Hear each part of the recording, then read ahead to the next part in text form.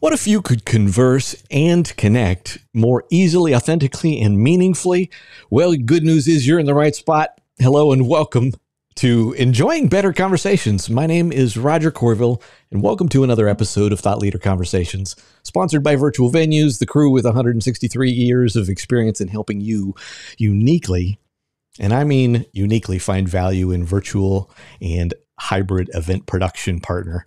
But today is not about us, and I'm excited to welcome to the virtual stage someone I know is brilliant because I've known her for years from our professional community, shared professional community at the National Speakers Association, Chief Connector and Conversation Whisperer Patti DeNucci, award winning author, speaker, facilitator, and author of a couple books, including one that's brand new that we're here to talk about today called More Than Just Talk The Essential Guide for Anyone Who Wants to Have a Better Conversation. Welcome, Patti. I think I messed up the title of your book, didn't I? Uh, I don't know. I still mess it up because I'm getting used to it. You know More what? than just talk. We got that part right. Unless this is somebody's first episode, uh, they figure out we're kind of a keeping it real crew around here anyway, because they can go anywhere and get polished that's fake. So Right? You, you know what that's called? Making a mistake and you know making people love you because of it. It's called. I just learned this like minutes ago. It's called the pratfall effect. When we Oh, my screw up, we're automatically more likable. Human. interesting. Yeah. Well, so there you go. scrap the opening question. Uh, tell us who you are and what you do, and then we're going to talk about the the Pratt deadfall or whatever you just called it.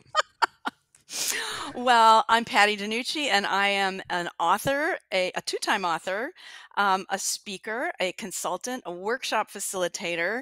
I love coffee. I love an occasional glass of wine. I love dogs. I grew up in a mining town in northern Minnesota, uh, but now live in Austin, Texas. I've been here for a long time. I'm not going to say the year because then you'll start doing the calculations and you'll know how old I am. Um, I work at home. I um, have been working on this new book for probably more than eight years because you know i initially thought oh this will be just a little prequel to my other book the intentional networker. How hard can it be? And i was wrong. It was fascinating. A lot more to conversation than you think. So, since we already threw out that teaser, let's talk about that principle of being likable. And I'm not going to put you on the spot as an expert here, like you're an expert on other stuff. But what was it called had- again? Uh, the pratfall effect. You know, like in a comedy, somebody just like the Oh. Dick Van Dyke. Well, people are people who are listening probably aren't old enough to know who Dick Van Dyke is, but you know, walk into a room and you just fall down, and people love you. They laugh and they think that's hilarious. or you spill a cup of coffee on yourself in a meeting, and suddenly, you know, the tension in the room is gone because hey, someone just spilled coffee. How much worse can it get? Right. not that we need to do these things on purpose for effect, but um, you know, being an being uh, imperfect, being authentic and vulnerable and human makes us very likable. I mean, you you talk about likability, and you know, I have I, I wrote about that in the book. I mean, what is likability? And I know there are people that don't care if people like them, but I care. I a lot a lot of good things happen in your life if you're likable, not a doormat, but endearing, human, fun, funny. Yeah. Uh, Well, and I mean, I think if anything, and I know you've no doubt seen the research, particularly since COVID, but even before, Mhm. loneliness is at an epidemic level. Right. And Yeah. we don't have to look too far. I'm not telling anybody, thing, anybody anything they don't already know to know we Mhm. spend a lot of time talking at people instead of talking with them. Mhm. And interestingly, just just in this last week, I saw that the longest longitudinal study you've probably seen this, right? Mhm. Longest longitudinal study in the history of academia, at least here in the states, was Mhm. from Harvard, Yep. looking at what it takes to be happy. Yeah, and that's been like an eight decade, 85 year study. They've been following the same people. You know, they have different groups that they've followed. And by and large, the the predictor of a happy life, of a healthy life, of a successful life, and a vibrant life, you know, that's just worth living is socializing and relationships and you know not just keeping that same circle of friends you've known your whole life but also expanding out into being willing to talk to people that you don't know or making new friends yeah that is a very compelling study and you know you talked about the pandemic and us being lonely um, there's another wonderful writer named Ruth Whippman. She's British, but I think she still lives here in the United States. She's written extensively about how lonely and anxious people are in America because they have this rugged sense of individualism and oh i can afford to live alone and you know all that. And i learned i'd mentioned austin texas that's where i live austin is one of the top loneliest cities in the united states. Wow. Which i can hardly believe because it's always been such a fun party town. Young people are here all of that but um, people are living alone people are eating alone and working at home now um, which I've worked at home since 1989, but I purposefully pick up the phone, make coffee appointments, go have happy hour or or lunch or something with my colleagues. I've known since way back then that uh, if I don't get out of the house, first of all, my work suffers, but my mental health will suffer too. Right. Yeah. And I think it's useful to being careful here, but make that assumption about people when you talk to them, right? Everybody's got oh, some oh, yeah. kind of junk going on in their life, if not some place where they wish they were more connected. Um, mm-hmm. So let's mm-hmm. maybe transition to your book because I know you've got a few things to say about that. In fact, I, I love how it oh, opens. Oh, yeah. Thanks for the advanced digital copy. I wish to, I could tell you that I got the whole thing read in the last few days, but um, but thank you.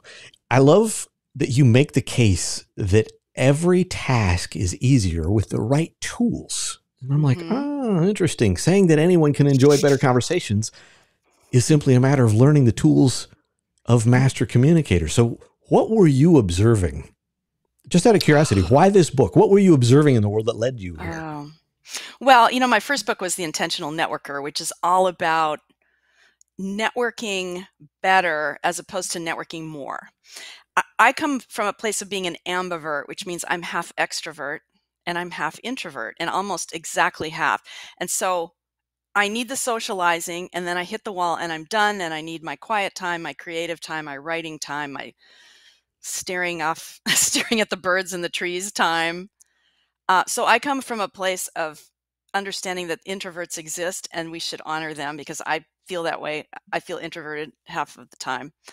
Um, but what I was finding was when I was presenting, when I would run into people who read my book, you know, questions people ask me via email and social media, people were still wondering like yeah i know the network you know the networking you make a great case i've learned some great things but what about the conversation? How do i start the conversation? How do i keep the conversation going keep it from being awkward? What and the big question was what do i say?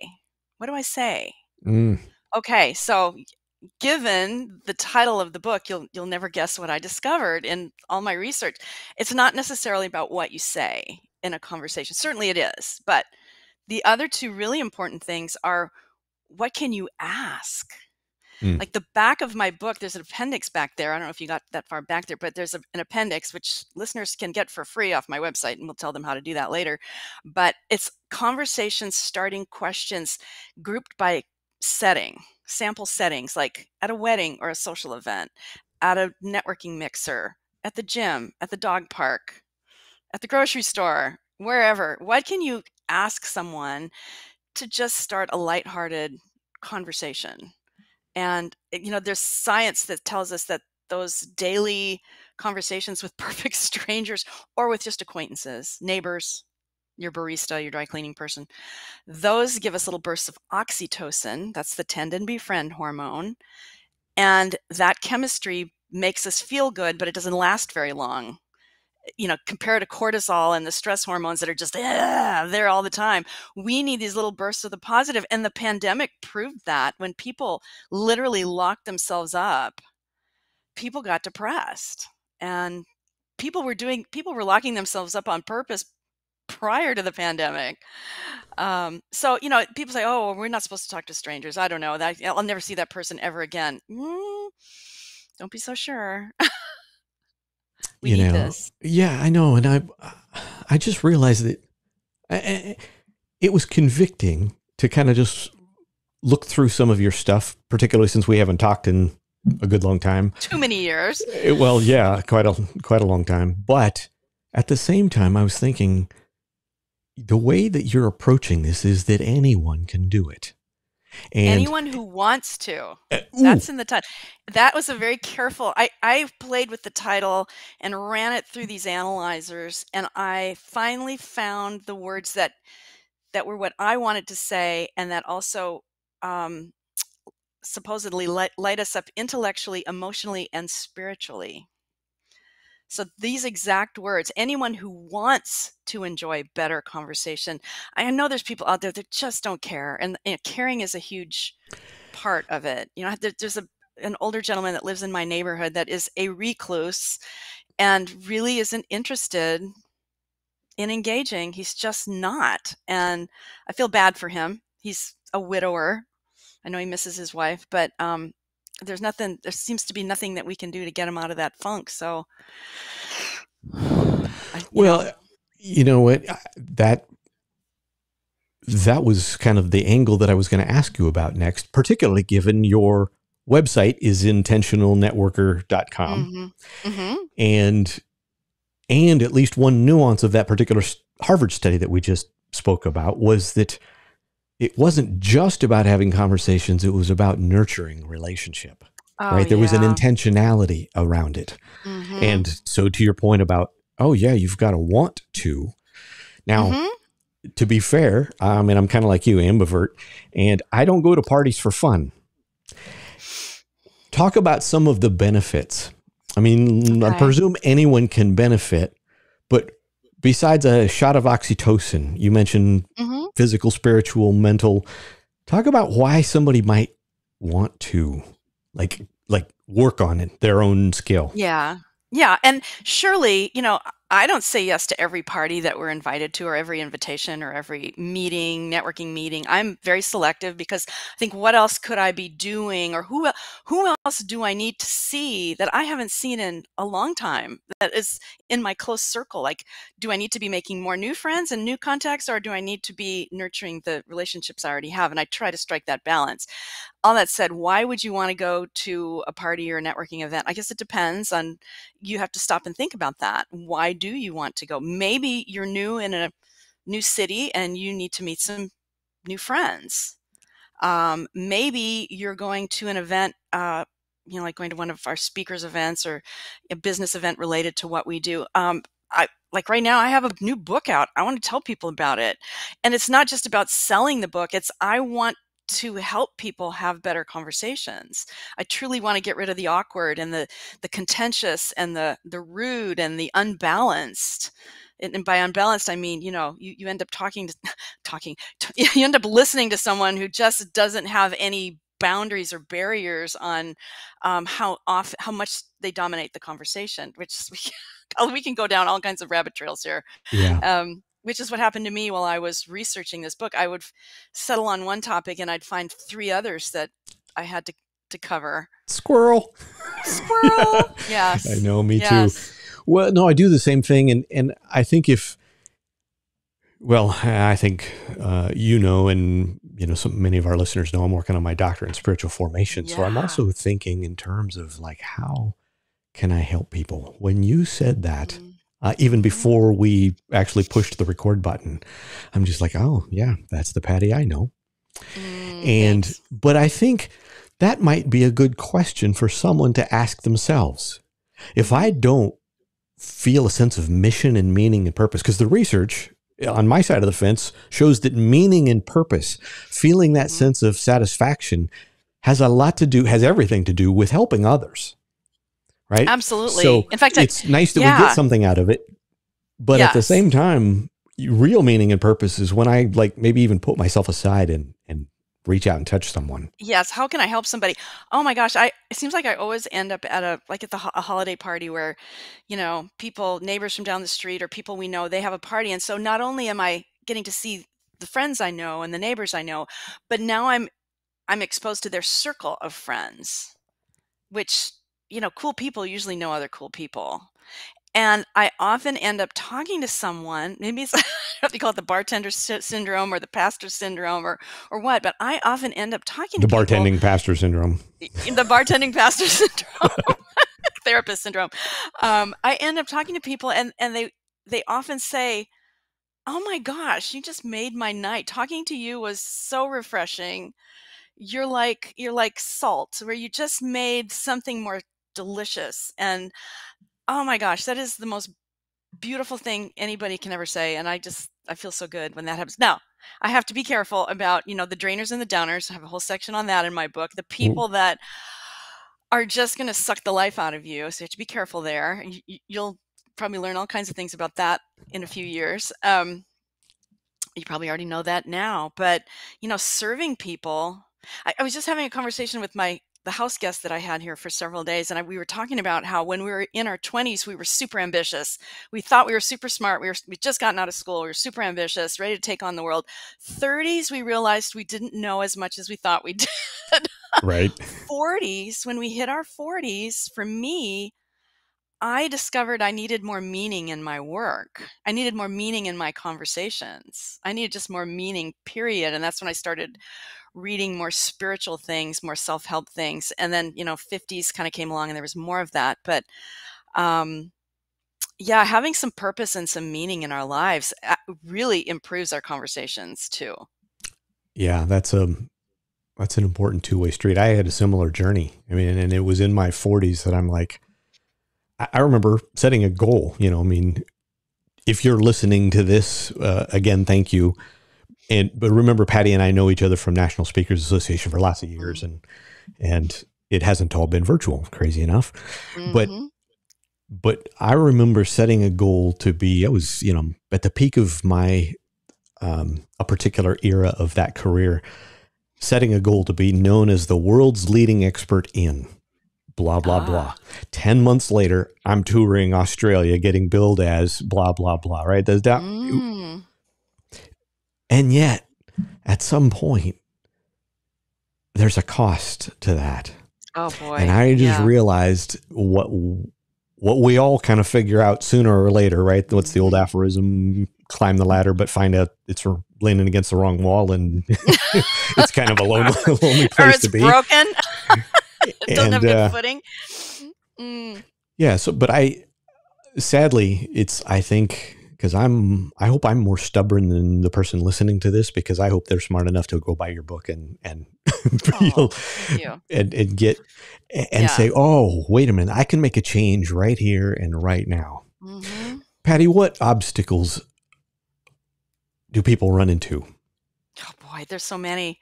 Well, I mean, the obvious one is our technology. You know, to me, there's nothing sadder than going out to a restaurant and seeing an entire family or a group of friends all sitting around a, a table at a beautiful restaurant. Here they are together and they're all on their phones. And, and there are two words for that. One's called phubbing, phone snubbing. The other one's called, and this can apply to you know larger smart devices, technoference. You know, we we have this illusion that we're connected I mean, this is an era where we feel like we feel like we're more connected than ever, and really we're more isolated than ever. I mean, there is a survey out there that says that uh, the majority of the people in the world don't feel like they have someone they can talk to Right, about a problem. right. Yeah, it's, it's and the number, heard, being I don't even remember. You probably remember the number. What do you? It Mm, and the number remember, was like exceedingly disturbing. low. it was the data i mean the more i did the research on this the more disturbing the data was and you know it and that's a great reason to to for all of us to start acknowledging each other. Like there's this thing called the hospitality rule. It's also called the 10-5 rule. If you're within 10 feet of somebody you don't maybe you don't know them. Maybe it's in your office. Maybe, maybe it is someone that you know. With if you're in 10 within 10 feet make eye contact and nod or give a little wave if you're within five feet look at them say their name and offer a greeting like hello roger. Maybe throw in something hello roger good morning how's your day going? Give them something and granted this doesn't work on the streets of new york city because that's just a highly highly densely populated area i mean use your judgment on that you know don't be like uh will ferrell and elf where he's just hello! everybody i mean obviously but um it's astonishing to me how often I can be at the gym or at a restaurant or the grocery store or something and someone will walk right i guess the grocery store would be a, not as good an example the gym someone will walk right by me and never make eye contact just blow right past me and i'm not i'm doing this more for the human study piece of it it's just like how often does that happen? How many people acknowledge others whether it's me or anybody how many people just bother to say good morning um, we have really been cruel to each other that way. When we talk about, you know, diversity, equity, and inclusion, can we start with just being courteous and friendly? Let's start right. there. Yeah. you know, hello, goodbye, please, and thank you. And I have a great story that's actually in my book. Um, my friend John Langford, he's a photographer here in Austin. He grew up, his dad was a missionary. He grew up in, I think, Hong Kong or Singapore or something. And he learned great manners with being around all these different people. He went on a round the world trip when he turned 50. And he learned how to say hello, goodbye, please, and thank you in every language or dialect that he was visiting. And he said he had no problems whatsoever with people. They were all welcoming, friendly, helpful, kind. And it was because he started with just the basics. So if people say, I have a hard time making friends, start with hello, goodbye, please, and thank you. See what happens. It's kind of basic. Well, but it's a good reminder. You know, mm-hmm. I think that even comes back to the being intentional piece, right? Because mm-hmm. yeah. just as easy to not say something sometimes, mm-hmm. right? Which, eh, and we've all been there, if not heard the stories. You know, you sit down on the plane, you you whether you want to read or sleep or whatever, and you know, you put in your mm-hmm. you put in your earpods to to avoid create, the person sitting next well, to, to you. Create a boundary. Yeah, and, and that's okay. I mean, we all get on the plane. Sometimes we're really tired or we're preparing for something we know is going to be really draining. And, and I think that's absolutely fine. But at least acknowledge your seatmate and say, hello, how are you doing? You know, we are humans. But I think sometimes people are afraid. What's Keep going, going, to happen if what right. what are, what's going to happen if I say hello to my seatmate are they going to talk my ear off the entire flight? I think we're a li- we we put up those boundaries, and you can even extend this to what happens if I get a roommate? Like, you know, if I wasn't here with my my sweetie, if he wasn't living here with me, I'd probably have to have I'd probably have a roommate just because I think it would get really isolating. Yeah. Um, but it would have to be the perfect roommate. it would have to be a really good one. yeah, well, I mean, crazy. If if you knew, even if if you were tired if you knew that the person that you would you were going to say something to was going to just be pleasant and they were going to breathe life into you, you probably would be a little less fearful about that, right? Yes, I imagine sometimes yes. we we concerned either we don't have the time or or we're going to get mm-hmm. stuck with or in a conversation with mm-hmm. what did you mm-hmm. call them downers and dumbasses a drainer or? and a downer yeah and, and i think okay so here's our responsibility as people you know, a big thing it seems so obvious. Read the room, read the person's face. You know, it, let's say you're sitting on an airplane, and let's say you have a tendency to want to talk to people. Let's say you're more extroverted and you love. Okay, can we be kind and follow a couple of rules in any conversation? We listen 60% of the time. We talk only 40% of the time. We speak in 40 second increments.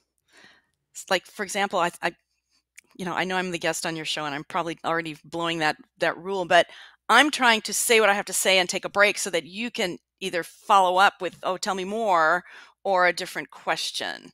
Like, can we not talk each other's ears off or launch into negative topics or launch into contentious topics or share things that are too intimate, too personal? Um, we still we still laugh. Mark and I still laugh about there were two ladies behind us on a plane, and one of them, I think she was on some sort of pain medication that was like messing up her inhibitions, and she started telling her seatmate things that we still laugh about. you know, and I'm not even going to share because they're just too out there. But um, yeah, we we have the responsibility as the the seatmate to not only say hello to our seatmates, but also respect them. And, you know, maybe you want to read your book. If the person's reading their book and you're still talking to them, you've missed a social cue there. They're trying to read their book, or if they've popped their earbuds in, they want to listen to their podcast or their music. But you know, maybe something might be missing there. If if they do those things, they might be missing out on something you're going to share with them. We just have so much work to do here. Well, we do, and you know, it comes back to want to or intent, right? Yeah. What some people think they're better at it than they are, Mm-hmm. and and don't think they have something to learn. In fact, curiously, one of the questions that I thought to ask you is, well, what about that person that has amazing social skills? Yeah. How you know, or thinks they do. or okay, thinks they so do? he- Can they so still gain insight from your book? Absolutely. I think that's a rhetorical question. Absolutely. Absolutely. You know, people say, "Oh, I have the gift of gab." That's that's a I don't know if that's just a Midwestern phrase that I learned up north when I was growing up. "Oh, I have the gift of gab. I'm good." Maybe you are really comfortable in social situations, but are the conversations that people engage in with you are they mutually enjoyable? You're having a great time. But is the other person enjoying the conversation? I even asked that question in a small group discussion at an event where I spoke, and this woman, I said something about, um, I forgot, even forgot what the question I asked, but she was totally, she said, I can talk to anybody. I am good. I feel totally comfortable. And it was clear she hadn't even heard the question. And I forgot what the question is, so it must not have been that great of a question. But she completely missed the point of the question and was so convinced that she didn't have anything to learn there. Um, so I think the extroverts and the people who have that gift of gab can learn restraint and balance and respect. Um, I think the highly opinionated can learn that you know maybe others have opinions too, and we should listen to what they are and become enlightened. Um, I think the incredibly shy people can realize that shyness is something that we can improve on. And I use the analogy of you know if Patti, if me, if I want to get better at push-ups, what will I have to do? more push-ups. So shyness you can overcome. Introversion is more about how your battery's charged. It's charged in solitude. It's drained in social. So that's just how you're wired. So there's all kinds of concepts there that I think give us a little perspective. But yeah, it is intentionality and wanting to.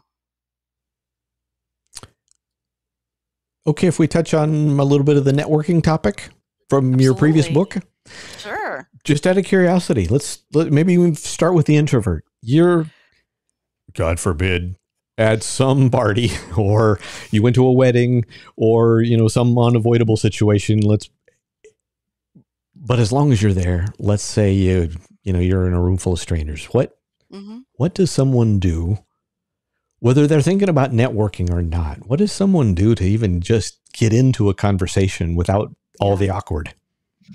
Well, there's a couple of ways. One of my favorite ways is to find somebody else standing by themselves who appears to not know anybody or, or just looks like help have a help me sign across their forehead.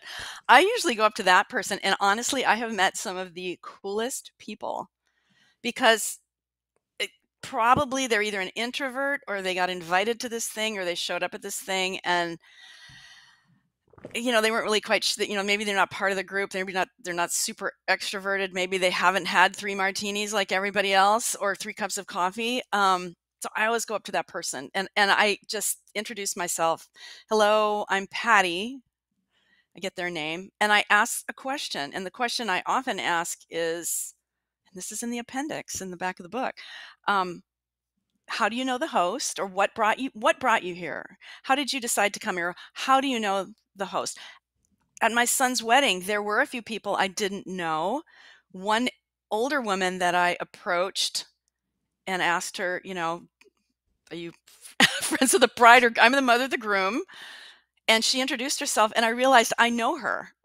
It's been about 20 years but i know her so we had plenty to catch up on it was d- delightful and i think she felt kind of special she knew the mother of the groom um, she was actually the date of the bride's grandma grandfather and she was you know she didn't know anybody That's so I fun. made the, I made her day or night, whatever you want to call it.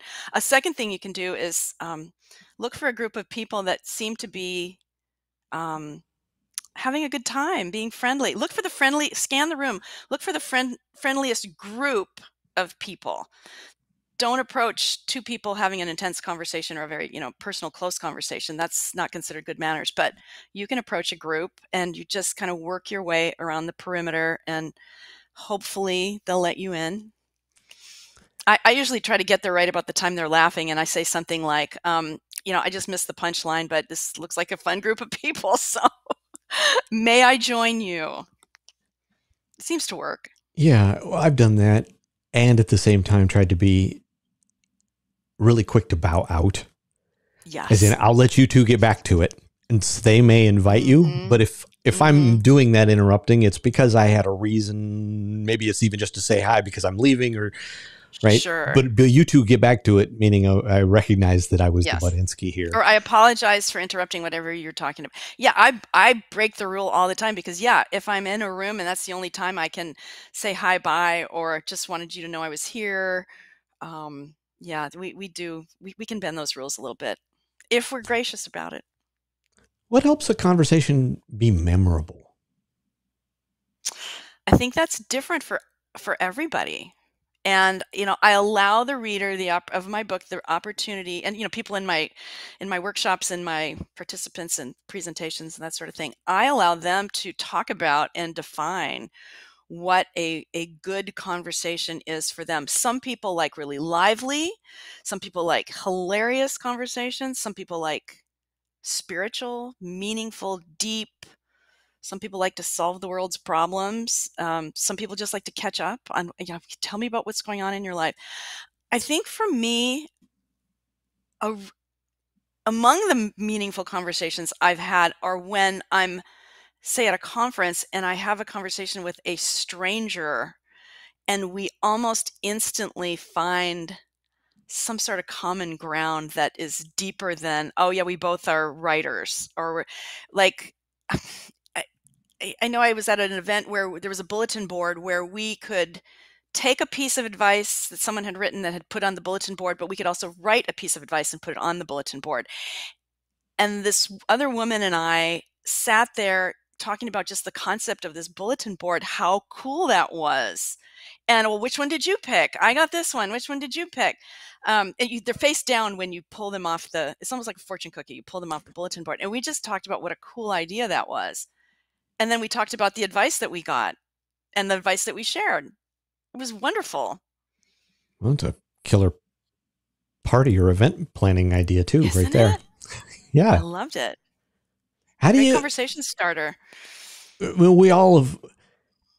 How do you get out of one of those conversations if you just happen to be get into one of those with one of that eh, that person? You got that person of all the people in the Yeah. How am I getting stuck right here?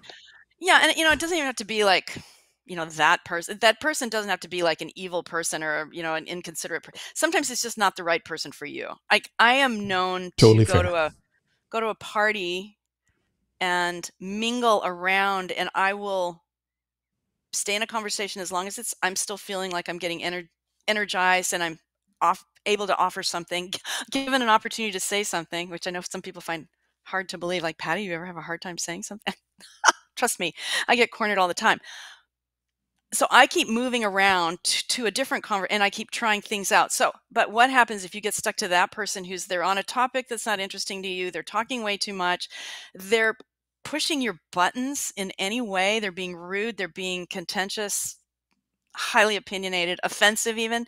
Right. The words, please forgive me, go a really long way. Please forgive me, followed by whatever excuse you want to use. It could be real or imagined. It could be, oh my gosh, look at the time. It's, it, I really need to make the most of my time here. And I promised myself I'd meet 10 other people. Or I see my friend over there. She looks abandoned. I promised her I wouldn't let that happen to her. I'm her wingman tonight. Um, or you, you can just, you know, I'm late for my yoga class. I'm, you know, my baby goat training class, whatever it is. Make, and some people say, well, isn't that rude? Or, you know, if it's getting really bad, you can just walk away. And there are, there are people that say, isn't that rude? And my, my dear friend, Jan Goss, who was trained at the School of protocol in Washington said if if that person's dominating the conversation or being offensive in any way, who's really the rude one? You're protecting yourself. You have the right to protect yourself. You can also manage a conversation and change it by uh, asking a question that's, you know, like, "Hey, I know we've covered this topic for, you know, a few minutes here. I'm wondering how you feel about fill in the blank, whatever." We can manage and shift conversations too.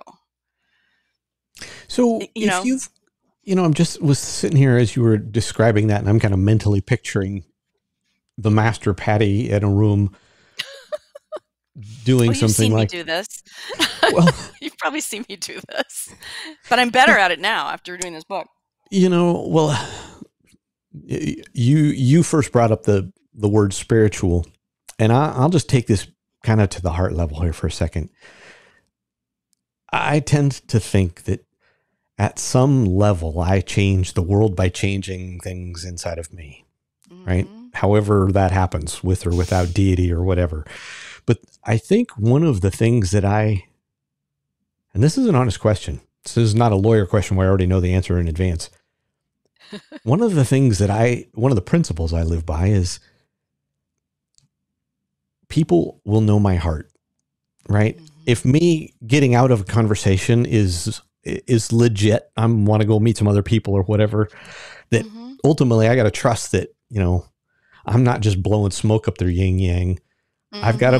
I, it's first got to be the real thing for me. But then you know, for yeah. me, I tend to think relationally instead of transactionally and we've all been mm-hmm. on the mm-hmm. other end of that right? So i'm thinking how can sure. i do this relationally? I'm how can i get out of this conversation relationally instead of transactionally? Because we've all been on the other end of that where you felt like a number. Like oh oh yeah. right? Um yeah. I i you you learned enough about me to figure out that i don't fit your ideal client pros- profile and bam you're gone. Right? Mm-hmm, so mm-hmm. i'm just a number and i was the wrong number. Yeah. Yeah. Well i mean there's a couple of levels there. I mean what's, what's so wonderful about this conversation roger is that i think i can tell when i'm talking you're thinking of it's you know lighting up neurons in your head and you're doing the same thing for me which i think makes it very memorable. Um, eh, both my books begin with chapters on let's get to know ourselves let's do you mm. really know yourself there's a, another fantastic book out on the market called insight by tasha eurich and her it's just fascinating. We think we know ourselves. A lot of people don't know themselves at all. They're kind of the person that they think the world expects them to be or wants them to be, and they just live as that person to make it easy on themselves. We've all been there, I think, to a certain degree. But when you really get down in knowing your heart, what is knowing what's going to feed your heart and what's going to hurt your heart or your psyche or, or whatever. But yeah, I mean, the transactional piece, a big thing I teach people is networking and conversation is certainly networking and conversation lead to sales because we get to know each other as humans and we do business with the people you know for this we do business with the people we know like and trust. And how do we get there? By just being humans. Um, and i was on a podcast recently that was all about sales and we have to remember that even if a sale let's say we're in a business I, if i don't get a speaking client or i don't have somebody doesn't buy my book well they may run into someone somewhere down the road maybe two years from now that is a perfect fit for me and they'll hopefully if they remember me the person patti maybe they'll make that connection on my behalf. Um, but yeah i think i love it when people are authentic and that never means i think sometimes the word authentic oh my gosh so many rabbit trails here. I think the authentic piece has been misdefined by eh, to mean that we just unload everything about us and we just show up um, in a slovenly, unkempt, you know, and I mean that metaphorically as well as as physically. Um, you you still should try to show up as the best you you can be in that moment for others. It's about others. It's not about you. Yeah. Any surprises along the way? Always. Oh my gosh, so many surprises. Well, here's the here's the big one. The number one conversation skill is not talking. Again, back to the title. It's listening. And I know I have I have work to do there. We all do.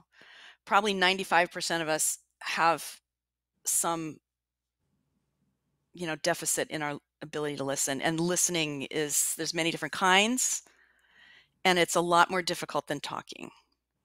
Talking's expressive. You're you're unloading, you're venting, you're sharing. Whereas listening, like right now, you're listening to me talk. You're hearing my words. You're probably looking at my expressions, my body language, you know, what you can see. And you're processing what I'm saying, but you're also processing what was already going on in your head, plus the reaction to what I'm saying.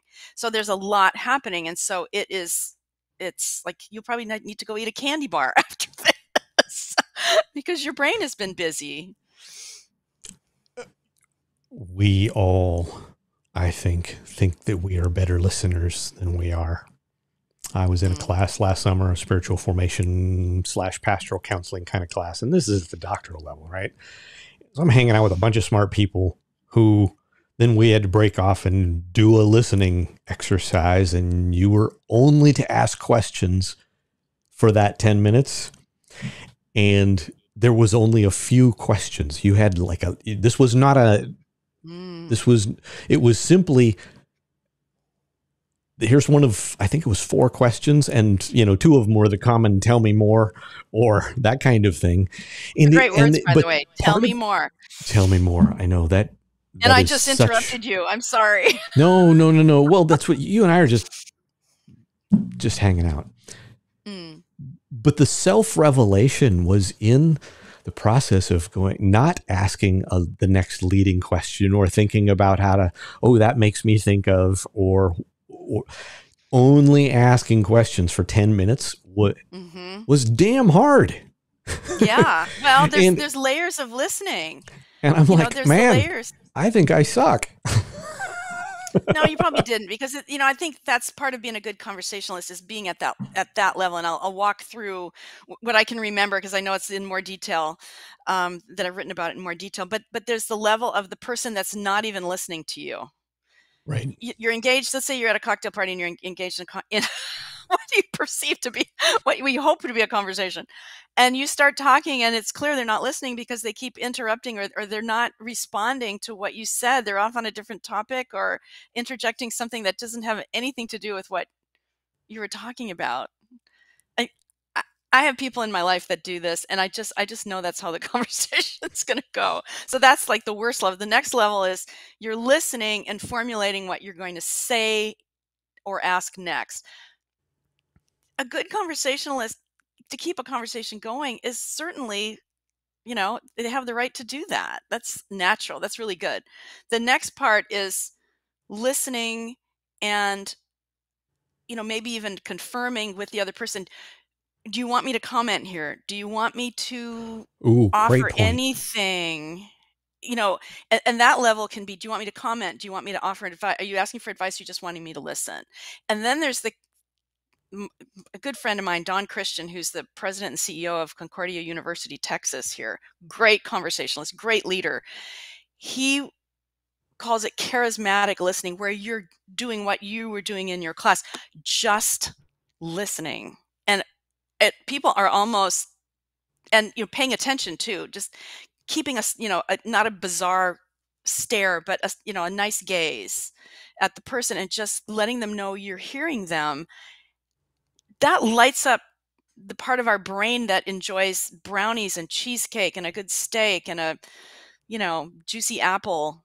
It, it, it lights up our pleasure centers and that's why people pay therapists and need their pastors and need their clergy and counselors and we so seldom are heard at that level. It's absolutely delicious.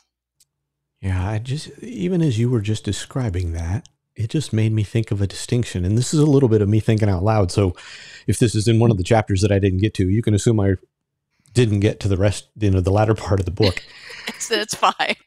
well, you know, I, in one sense, I think many of us have heard the advice, you know, what you don't want to do is be listening so as to respond, right? The only reason I'm listening to you is to figure out how to get my two bits in there, mm-hmm. which Mm-hmm. which is different than listening so that you know how to respond when what I'm doing is bringing a new level of curiosity to the table.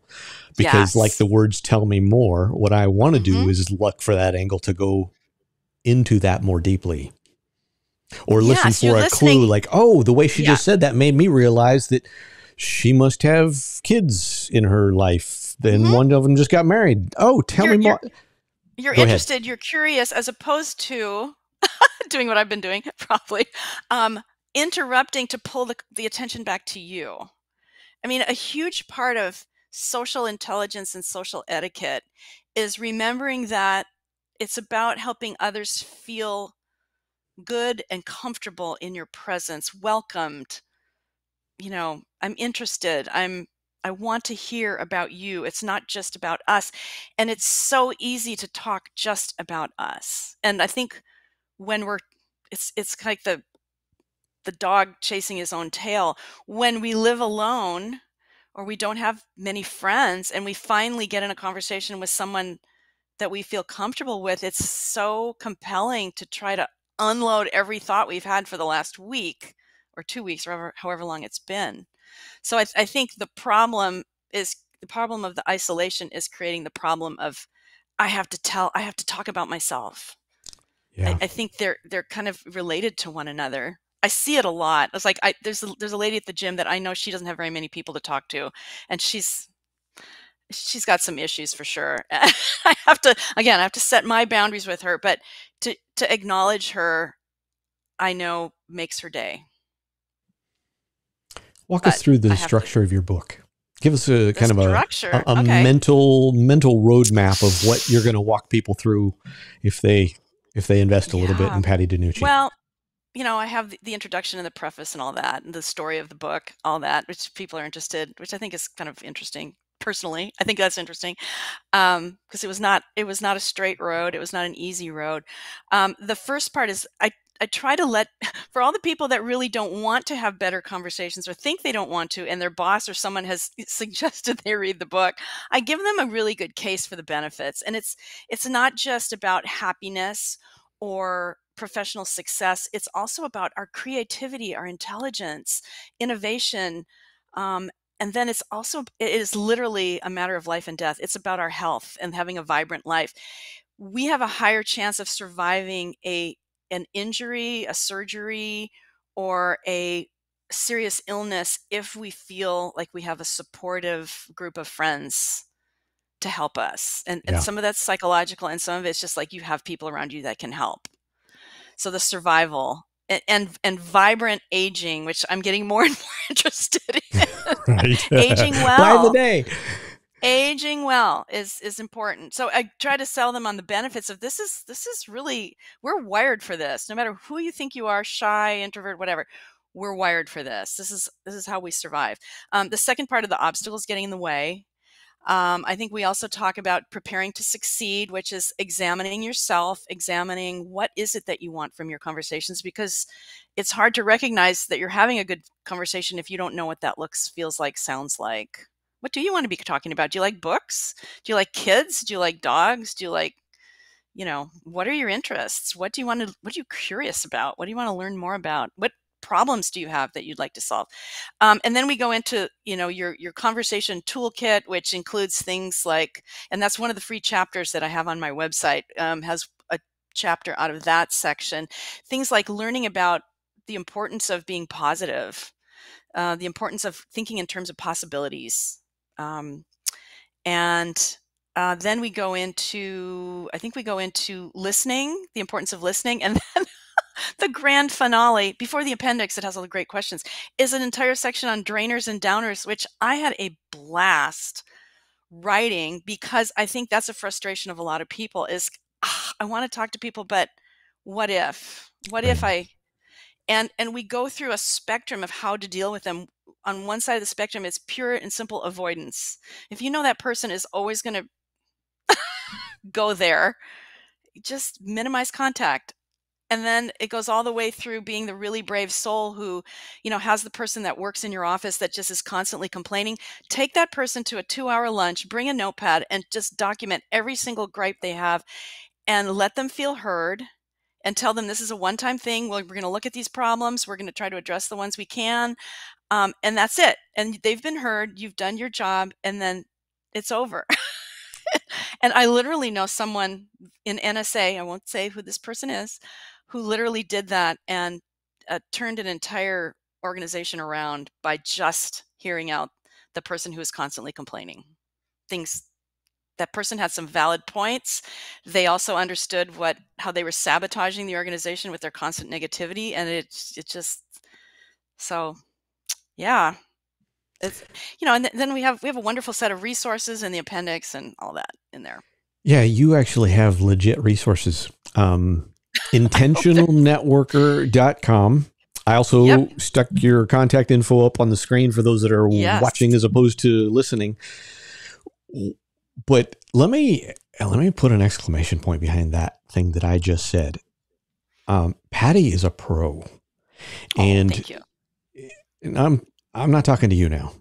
I'm talking to the listener. All right, let me quiet and, and, and you you just shut shut your trap the glory for a second. of it all, says the host. no, no, I'm serious. If there's one thing that you figure out quickly in in National Speakers Association, besides the fact mm-hmm. that that it's legitimately one of the nicest group of people that I've ever had a chance to be a part of as an association, because you don't last as a professional speaker if you're a nincompoop because word true. gets around too fast, particularly in a day of social media. But but Patti's level of preparedness and be, just because I was prepping, I went to her uh, website and downloaded her free stuff and oh my gosh. It, we've all done that and know that we're going to end up on a list and yet the challenges, the crud they give you is crud. Mm-hmm. And Patti's got legitly, legitimately good stuff there, intentionalnetworker.com. Patti, if someone comes to you and and is curious about you speaking, training, coaching, consulting, water skiing with their organization, what what are the things that you ask them that they could be thinking about right now? If they're listening to us, what are those things that they might want to be thinking about mm-hmm. before they even call you? Yeah, I mean, I, I would encourage them to at least look at my website and see the way I address the issues, uh, you know, the the topics of intentional of networking and conversation because it's not from an extrovert's point of view. It's it's I think I understand the the mind and the behavior and the psyche of the introvert because that's half me also. Um, I, I think a huge thing too is eh, what is it costing you or your organization to have people there it might be yourself it might be your group might be your team to have people who aren't they don't have social intelligence. They don't know how to look people in the eye and have a conversation. And you know this isn't just young people. I mean a lot of young people are Right. growing up in a world where they're used to staring at their phones and they know how to take a good selfie and all that kind of thing. But um, it can be it can be all ages. It can be both genders. It can be in any industry um, any profession. What's it costing you? And you know i say you can really get down to it and say it's costing you your life and your health but there's more to it. It's costing your culture. It's costing you know what would it cost you because you didn't at least talk to me about how i can potentially help you in your group? Um, you know and it might be the book. It might be the book. It might be my blog. It might be my free resources. I try to offer something for everybody. Sometimes it's just a conversation. Call me. Call me Right. send me an email. How can i help Patti, are there any questions I should have asked you that I'm not that I haven't? What what should what should Oh I have asked you? What's the most killer interviewer question you've ever gotten that I haven't asked you? Well, there was one person that asked me what I was like as a kid. and it's interesting because I'm kind of getting becoming that person again. I, I loved writing, I loved learning, I loved art, which I started painting again during the pandemic. I loved helping people. I loved um, going to parties and putting on a show. Let's put on a show. You know, that's the speaker side of me. So, you know, I think that's the beautiful thing about you know the the journey of a lifetime is becoming who you truly are and that was really fun to talk about that for a minute but um, no you did a great interview and thank you for the compliments i just you know when we talk about speaking and writing a book you have to anticipate what all your naysayers are going to be thinking and saying at least i tried to and well, you've um, lived this a, a good i have time, lived this right? I know. i grew up in this Yes. My yeah, if, if I'll just say it real quickly, my dad and my grandfather were the local Chevrolet dealers in this little town in Minnesota, and my grandfather started the business during the Depression, and he literally built the business one and sold cars one conversation at a time. So I was blessed that I grew up in an environment where it was important to have good social skills and and to be a good community citizen and to be kind and gracious and respectful to people, but not everybody grows up in that environment. So I, you know, it's one of those. I, I, know it happened to you too. You you realize what your purpose is in life, and this is my purpose. I feel it in my mitochondria that this is what I do, and I love it. It's just such a joy to help people, help the light go on for people. Patti, thank you so much, and um, and for those of you that have stuck around with us, thank you for doing so. Of course, not a bad thing uh, if you subscribe to Virtual Venues YouTube channel or catch us on one of the social media places. Intentionalnetworker.com for Patti DeNucci, intentionalnetworker.com. And uh, we are really privileged to have somebody of this caliber and class join us for Thought Leader Conversations. And we will see you on the next version thereof.